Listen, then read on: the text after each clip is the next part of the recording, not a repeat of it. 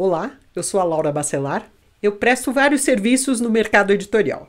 Eu ajudo autores a tirarem dúvidas com consultoria, eu faço mentoria para quem quer escrever livros de não ficção e eu faço leitura crítica com viés editorial. Se você tiver interesse, veja os meus dados de contato aqui abaixo desse vídeo. O soldado Silva está fazendo outra pergunta aqui, ó, perguntas capciosas, hein, Laura? É, qual é a pergunta? Outra pergunta. É comum haver armadilhas nos contratos propostos pelas editoras? Ser acompanhado por um advogado é sempre fundamental? Olha, a gente responde isso com mais detalhes em outros lugares, mas eu vou, vou dizer. Uma editora, editora de verdade, então descubra aqui nesse canal qual é a diferença entre editor e prestador de serviço. Uma editora não vai uh, negociar com você se você é um autor iniciante. Ela vai te tascar um contrato leonino e ponto. Você aceita se quiser. Isso é editora, tá? Um prestador de serviço, você pode sim olhar com lupa e discutir tudo porque você está pagando, mas a editora, quem está pagando é ela. Então, ela tasca um contrato que a beneficia. O que eu sempre digo é apenas olhe o prazo.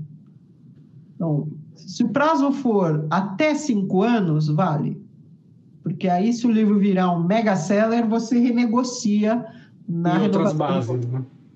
Com mais poder, com mais força. Exatamente. Mas antes de fazer sucesso, você não está em posição de negociar nada. Então, se for com advogado, você provavelmente destrói a sua chance de ser publicado. Agora, de todas as prestadoras de serviço, os contratos têm algumas pegadinhas que eu tenho Aí eu tenho sim. dúvidas se um advogado, por não conhecer o mercado editorial, ele vai conseguir captar a, a, aquelas entrelinhas. É, você precisa ser uma pessoa, para ler aquele contrato, você precisa ser uma pessoa que entende do mercado editorial. Eu acho que é mais válido do que um advogado.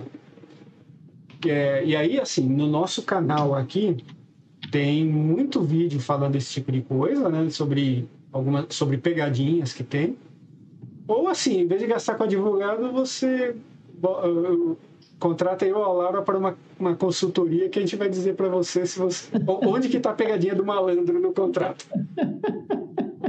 Vai, é mais barato que um advogado e vai dar melhor resultado para você. É, sim, esses contratos de prestador, aí sim, aí sim. Vai lá, vai lá.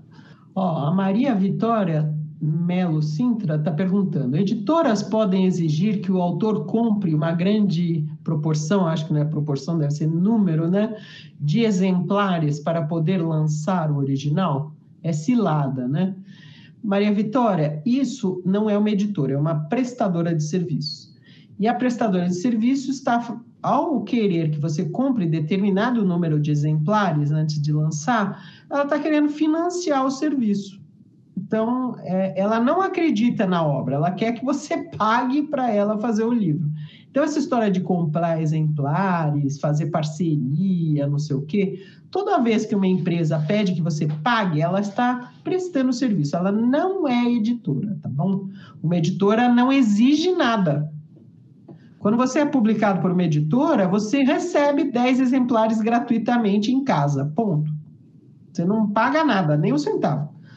Então, quando vem esses arranjos, ah, você vai comprar 50, 100, 200, 400, sei lá o quê, nada, é prestador de serviço querendo que você financie para fazer o livro. Tá?